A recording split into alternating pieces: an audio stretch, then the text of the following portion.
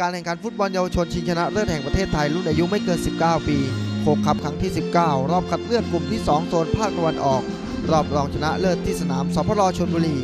คู่บิ๊กแมตช์เป็นการพบกันระหว่างชนบุรี FC ชุดสีน้ำเงินเจ้าภาพ ซึ่งนำโดยวรชิตกนิษฐ์ศรีบำเพ็ญ ชาคอนพราคัง และลิทธิเดชเพ็ญสวัสดิ์สามผู้เล่นเยาวชนรุ่นอายุไม่เกิน 19 ปีทีมชาติไทย ชุดแชมป์อาเซียน 2015 ที่ประเทศลาว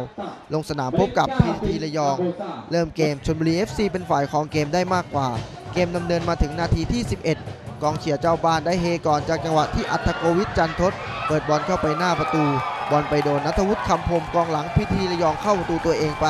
ชลบุรี FC ขึ้นนำหนึ่งประตูต่อศูนย์ จากนั้นนาทีที่ 12พีทีระยองมาได้ประตูตีเสมอ จากลูกเปิดเตะมุมของอัยรัตดวงมณี เปิดเข้ามาหน้าประตู ชาคอนพราคังผู้รักษาประตูชลบุรีปัดไม่ดีบอลไปเข้าทางไพบูลทีหัวช้างยิงเข้าไป พีทีระยองตีเสมอ 1 ประตูต่อ 1 นาทีที่ 27 ชมบุรี FC มาได้ประตูขึ้นนำอีกครั้ง จากจังหวะที่วรชิตกนิษฐ์ศรีบำเพ็ญจ่ายบอลให้บุญเกิดชัยศิลป์จับ 1 จังหวะ แล้วยิงด้วยสายเสียบเสาไกลเข้าไป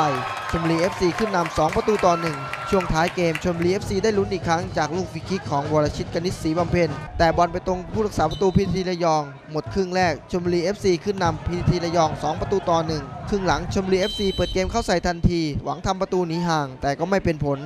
เกมดำเนินมาถึงช่วงท้ายเกม ในช่วงทดเวลาบาดเจ็บชมบุรี FC โต้กลับเร็วจากการพาบอลขึ้นมาริมเส้นฝั่งซ้ายของนิติเดชเพ็ญสวัสดิ์ แล้วจ่ายบอลมาให้เศรษฐวุฒิวงสายแปรสวนทางผู้รักษาประตูเข้าไป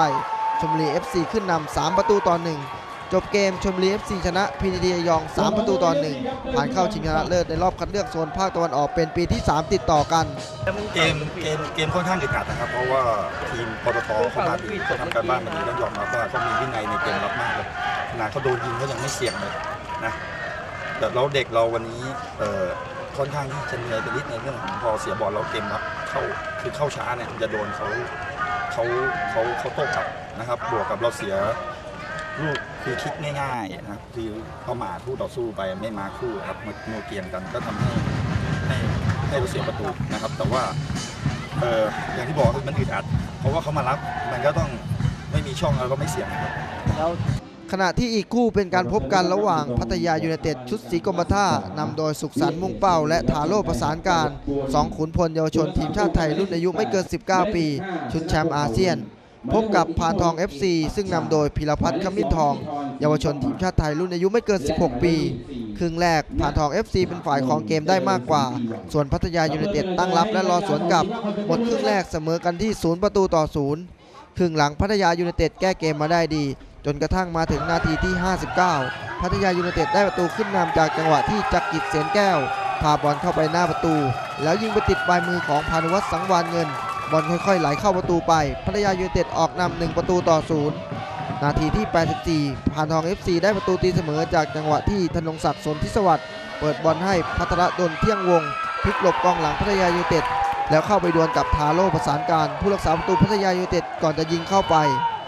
ช่วงท้ายเกมไม่มีทีมใดทำประตูเพิ่มจบเกมพัทยายูไนเต็ดเสมอกับพานทอง FC 1 ประตูต่อ 1ทำให้ต้องตัดสินหาผู้ชนะด้วยการยิงจุดโทษ ผลปรากฏว่าพัทยายูไนเต็ดยิงแม่นกว่าเอาชนะไป 5 ประตูต่อ 4 สกอร์รวม 6 ประตูต่อ 5 ส่งผลให้พัทยายูไนเต็ดผ่านเข้าไปชิงชนะเลิศกับชลบุรี FC โดยจะทำการแข่งขันในวันที่ 10 กันยายนนี้เวลา 18 นาฬิกา ขอบกระคะขอกราบเรียนเชิญ ดรสราวุฒิ